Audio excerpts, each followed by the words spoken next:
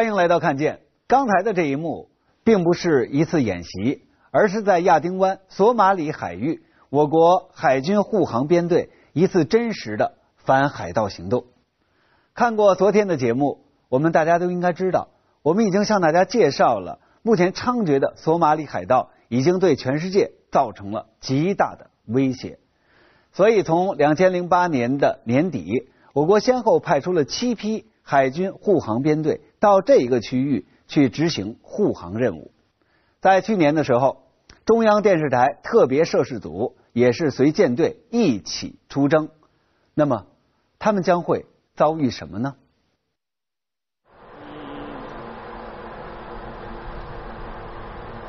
二零一零年五月一日上午十点，正在和巢湖舰共同执行护航任务的广州舰指挥室里，突然发现了异常情况。一级南海盗部署，突然就我在这儿没吃饭，他始终就是围着这反现在已经不动了，这条船现在已经在这停住了。雷达显示，距离编队十五海里处有一艘商船长时间停在海面漂泊，而在商船附近，数量众多的可疑小艇已经将商船团团包围。那那几艘这个船呢，现在没有办法判定是不是海盗。之所以认为包围商船的小艇可疑，是因为护航海军知道，在索马里，海盗惯用的就是狼群战术。狼群战术本来是指第二次世界大战期间，纳粹德国海军司令邓尼兹创造的一种潜艇战术。邓尼兹当时派出大量的潜艇，分布在主要航道上，一旦发现盟国的运输船队，立即发出信号，群起而攻之，给盟军造成重大损失。如今，这种战术被索马里海盗运用到了劫船行动中。一旦目标进入预定范围，群体包围后，被困商船就成为了他们的囊中之物。如今出现在中国海军第五批护航编队面前的这艘漂泊的商船，以及周围有包抄意图的小艇，让总指挥张文旦判断，这很有可能是海盗船试图围攻商船。而疑似海盗船的概念，让所有人一下子警觉了。根据国际海事局统计数据显示，海盗劫持商船大多行动迅速，通常只要十五分钟的时间就能完全控制被劫船只。而他们可以屡屡得手的主要原因，正是因为巡逻的军舰通常很难做出快速反应。向左，向左，五度。不怕一万，就怕万一。护航编队总指挥张文旦马上下达命令，兵分两路，巢湖舰单舰留下进行护航，而广州舰则迅速脱离编队，以最高速度驶向事发海域。直升机组是最快出击的先头侦察部队，机组上携带的特战队员要以最快的速度查明不明商船的位置，传输被劫商船信息。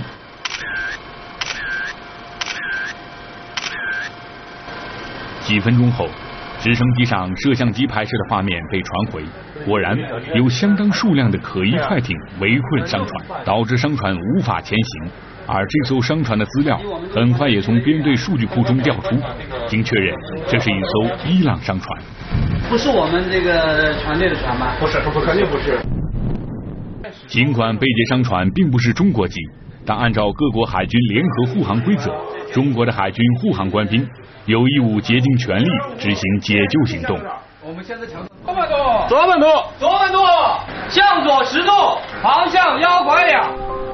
时间紧迫，被派往事发海域的广州舰以每小时三十海里的速度高速前进。速度五点三节。驾驶舱里的气氛骤然紧张，人们很难断定此次解救行动会不会和海盗船只发生激烈交火。未雨绸缪，各项作战准备很快就绪。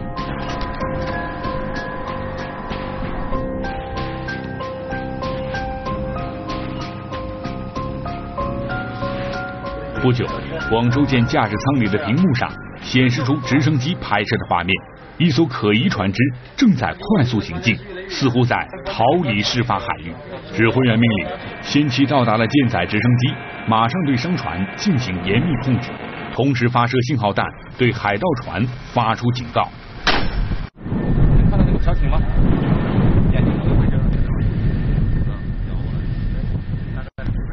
直升机上的特战队员通过不断发射信号弹，向围困在商船周围的海盗船发出严厉警告。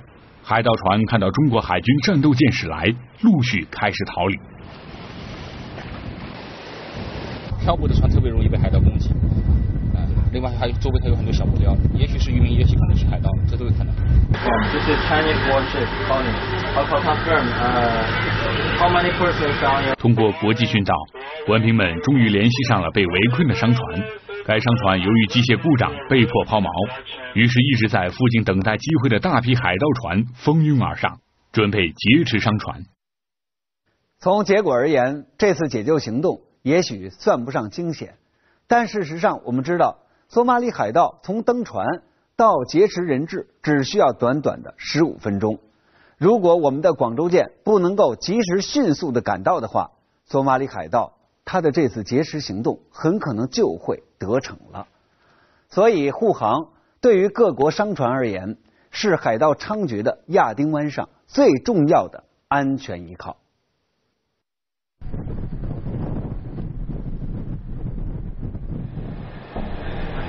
每年有超过三万艘轮船经过亚丁湾，因此这里也成为了海盗活动最猖獗的区域。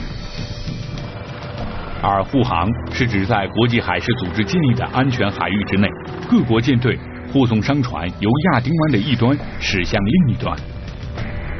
当前，包括中国、美国、英国、印度、韩国等在内的二十多个国家、四十多艘现代化的海军战舰，在这片游荡着幽灵的海域上执行着繁重的护航任务。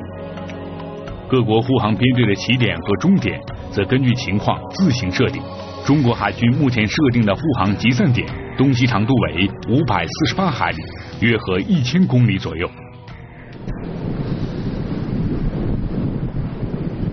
二零一零年六月十日上午九时二十分，亚丁湾西部一处方圆十海里的区域内，来自包括中国五艘商船在内，以及其他十二个国家的共十八艘商船正在进行集结。此次执行单舰护航的中国海军巢湖号导弹护卫舰游弋在这些商船的周围，不敢有丝毫懈怠。此前一年，在中国已经向亚丁湾派遣护航编队后，我国的德兴海号被劫持，震动全国。事后，虽然中国海军派出了正在亚丁湾执行护航任务的舰队前去营救，但是因为海盗发出了撕票威胁，最终中国政府经过长达七十天的艰难谈判，才让德兴海号的船员重获自由。前事不忘，后事之师。如今，对于每一次护航，中国海军都万分重视。这个海区，呃，在亚丁湾来讲的话，是一个海盗的一个高发海区，啊，也是一个危险的海区。护航海军知道，混杂在渔船中作案，正是索马里海盗的惯用方式。而这次十八艘商船集结，位置恰恰在海岸线附近，所以周围渔船众多。而护航海军得到的情报也证明，海盗已经通过卫星定位系统得知了这一次的集结。多的国家，你这一个港口，包括你的船只货物从哪儿装，什么时候出发，要经过什么地方，然后最终你的目的地是哪儿呢？这些信息呢，不是绝对保密的。他就说呢，你从伦敦或者说从其他的一些呃东南亚一些港口出发的，他可能呢，这个海盗呢，通过他的一些布线呢，他有一些眼线在这儿呢，可以获取到一些信息。所以针对这些信息呢，他可能及早呢就准备好了，然后呢就埋伏在可能就是说你护航区以外的地方。有了源源不断的赎金做保障，现在索马里海盗早已不是当年船上挂着骷髅旗、衣服凌乱、手持弯刀的传统海盗形象。他们肩上扛着火箭弹，乘坐着快艇，手里拿着的是卫星电话 GPS。在现代科技的帮助下，他们也变得更令护航人员防不胜防。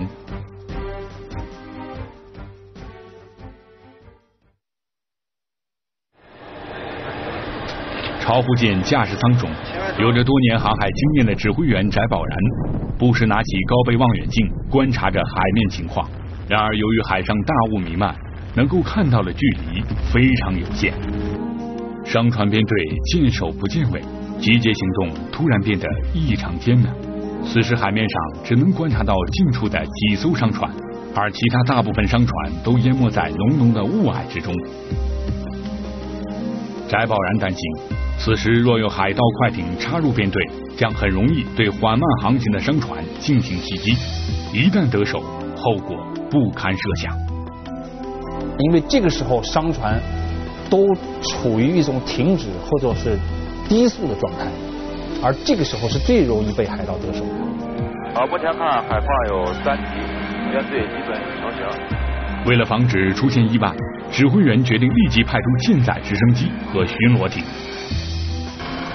刚刚升空两分钟，舰载直升机就发现了异常情况，一艘可疑小型快艇正在向编队方向高速行进。然后就通过左侧的这个副驾驶去看上面有什么东西，有没有危险。然后我们这个时候就交流就判断，我能不能下降高度。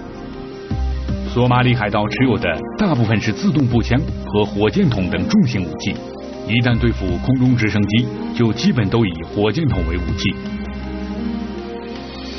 火箭筒是一种发射火箭弹的便携式反坦克武器，主要用于近距离打击装甲车辆和直升机等目标。它强大的火力无疑对于处于低空位置的直升机构成极大的威胁，因此中国护航编队的直升机机组成员看到火箭筒。都会倍加小心。直升机组的成员发现，那艘直接朝着商船编队方向高速行进的小艇上，并无任何渔具设备。眼看直升机抵近侦察，快要靠近编队的小艇突然转变航向，指挥组迅速命令，除了舰载直升机之外，巡逻艇也要做好战斗准备。因为两条小艇相互配合，它可以对付一批直升机啊，因为它这个机动比较灵活啊，它可以对付两批。高速巡逻艇是巢湖号导弹护卫舰的舰载装备，在海盗活动猖獗的亚丁湾、索马里海域，其隐蔽快速的作战性能可以达到出其不意的作战效果。但缺点是排水量小，一旦海浪大，巡逻艇就像一片树叶，随着海浪飘来荡去，操作手稍微不注意，就有船体颠覆的可能。所以，对在巡逻艇上搭载的特战队员们来说，这是极具危险性的。但恰恰是这种复杂的海况，会让海盗有可乘之机。很多看到三米和三米五的海浪，那个很多的口径船只在那里跑来跑去。但是如果在这个海况下，人家可以跑，你你那里面一点都不能动也不行。幸好僵持两个多小时后，海面天气状况一点点好转，能见度逐渐恢复。在直升机和巡逻艇双重监视和威慑下。可疑海盗侦察船终于调转方向，远离编队。刚才发现目标后，而庞大的商船编队也开始起航。然而，只有几分钟的功夫，官兵们还没来得及松一口气，可疑目标再次出现。一直坚守在雷达旁边的值班战士发现，距离军舰右前方两海里的地方。一艘可疑船只正随着编队缓慢行进，此时巡逻艇来不及返回母舰，直升机也在更远的海域进行搜索。唯一可以对这个可疑目标进行监视的，就只剩下了巢湖号导弹护卫舰。航向洞八五，信号弹准备好。指挥员翟宝然命令军舰加速航行。直接扑向新发现的可疑船只，因为如此近距离的可疑目标对缓慢航行的商业船队具有极大危险。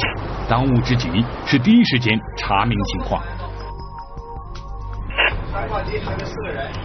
啊，单挂机上面有四个人。往左去修一下减减速，挡住他。短短几分钟，巢湖舰来到了可疑船只旁边，随后战斗舰放缓速度与它并行。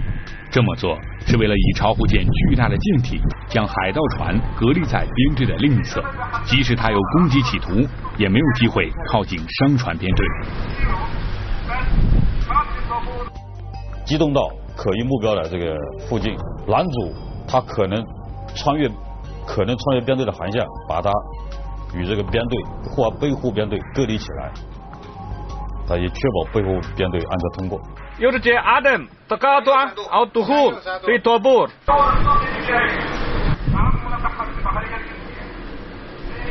这艘可疑海盗船并没有对庞大军舰的到来表现出任何惊慌。当距离进到船上的人员清晰可见时，木船没有任何可疑举动，但指挥员翟宝然却从小船上装的油桶上看出了问题。它一般是属于海盗的后勤补给船，它没有什么渔具，啊，这个人也不多，但是它拉了大量的油桶。油桶它主要是给外面的小船、海盗船啊进行补给供应。这艘木质渔船很有可能就是给劫持的快艇进行补给的。对此，巢湖舰在严密监视的同时，首先要发射信号弹去警告。根据惯例，在亚丁湾索马里海域护航。一旦发现可疑海盗船只，开始并不需要强大的舰载武器进行火力打击，在非特殊情况下，通常只通过信号弹或者爆震弹等形式来提出警告，展示战斗舰艇的武力威慑，达到驱逐海盗的目的。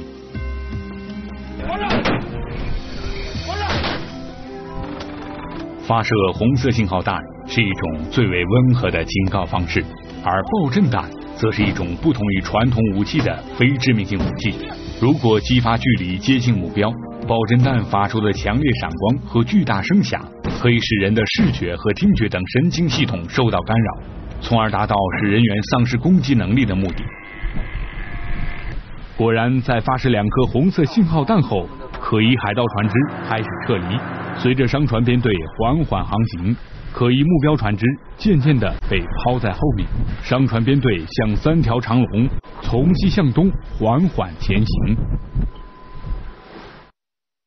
看过前面的护航过程，也许有人会说，护航只要严阵以待就可以了，严密监视加信号弹警告，不见得会有激烈的火拼，可谓有惊无险。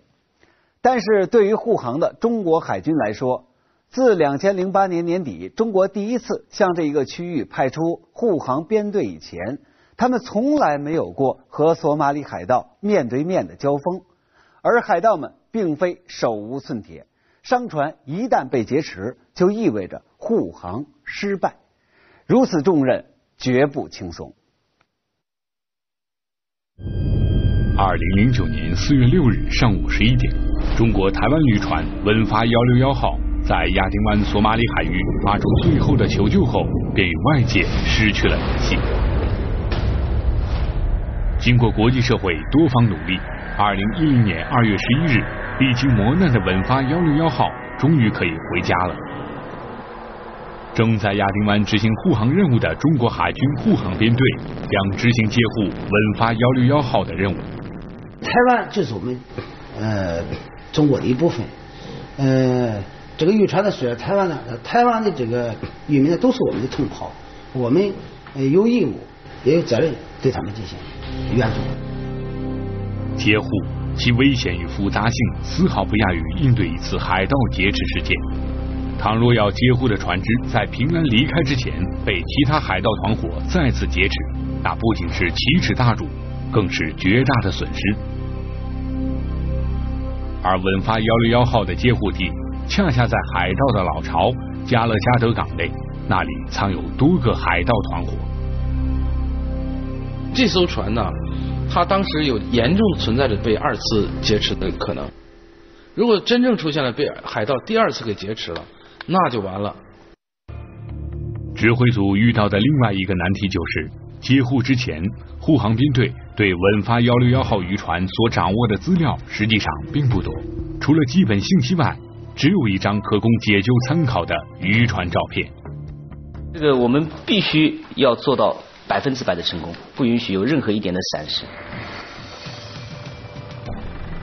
按照部署，在接近接护地域时，直升机组迅速升空寻找温发幺六幺号。这一天海面风大浪大，视线不清，升空后的直升机下降高度三百米，他在指定区域上空发现了接护目标，但发现的目标让指挥组一下子紧张起来，因为稳发幺六幺号并没有按照约定向预定方向航行，反而拖带着海盗小船驶回岸边。这种突发情况让指挥员感到非常意外。最坏的结局就是海盗之间发生了火并，影响到我们人质的安全，影响到我们整个船只的安全，造成船毁人亡。指挥员迅速同上级部门取得联系，对稳发幺六幺号渔船的释放情况进行确认。经确认，海盗确实已释放被劫船只，但有这种异常情况，是因为此前有国家在海盗释放人质过程中出现过问题。啊，海盗把这人质也放了，结果法国开枪了，把海盗都打了。因为海盗现在以后就不得不防了，我得有绝对安全的撤离，我得搞一艘船掩护我。指挥员们分析，海盗唯恐释放台湾渔船后遭到军舰袭击，所以命令稳发幺六幺号先将自己送回岸上，然后才让稳发幺六幺号渔船离开。稳发幺六幺，稳发幺六幺，中国海军无两六舰叫。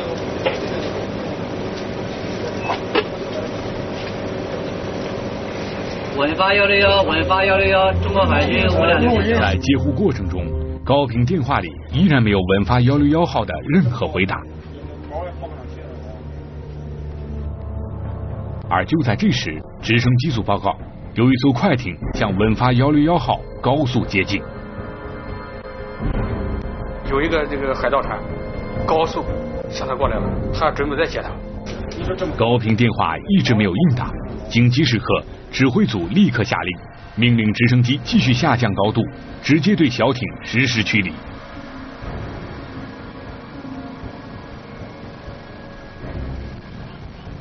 进行了这个打信号弹，警告他，警告他还不行，我们打着爆震弹，打了三发这么爆震弹。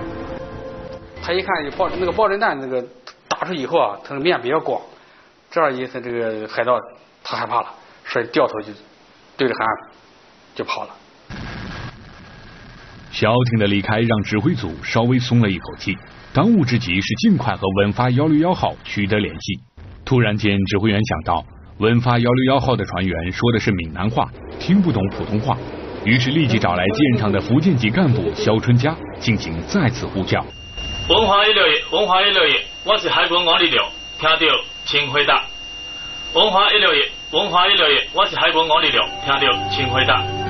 终于在漫长的十五分钟后，高频电话里传来了船长的声音。从我们护航官兵的这个发自内心的感受来讲，毕竟是际上执行这个任务，我们的官兵是抱着满腔的热情，是抱着这个非常大的希望。船员们纷纷跑上甲板，对护航官兵们表示感谢。这是在经历了十个月的艰难岁月之后，重获新生的那份喜悦。那天恰好是在除夕夜的前一天。在护航的大半年里，有一组数据可以勾勒出中国海军官兵的生存状态。距离最近的陆地一百二十五海里，距离中国领土四千四百海里，平均每五天和家人通一次电话，每次通话的时间不能超过十分钟。是啊，很辛苦，很熬人。和陆地一样，大海同样需要和平、秩序、正义。和法则，在海浪猖獗、暗流汹涌的今天，我们的军人们没有辜负他们的使命，也没有辜负大海对他们的邀请。感谢他们，祝福他们。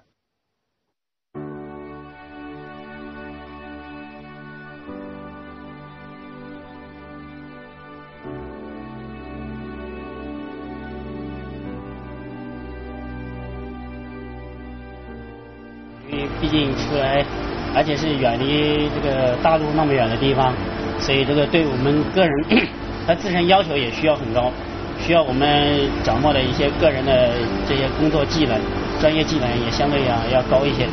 对。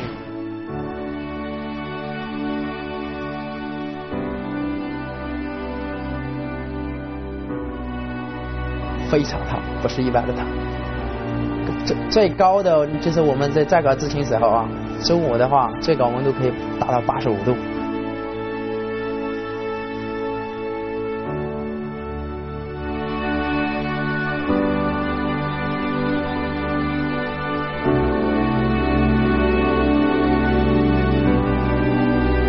这个女孩呢这个又在这个亚丁湾索马里海域执行护航任务。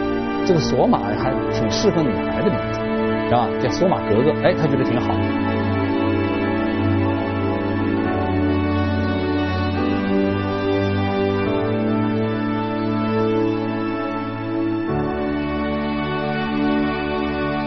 我和我们这个团队，这个工作团队，我们的理念，呃，我当时总结归纳出六个字，三个词，第一个就是要快乐，第二个温暖，第三个高雅。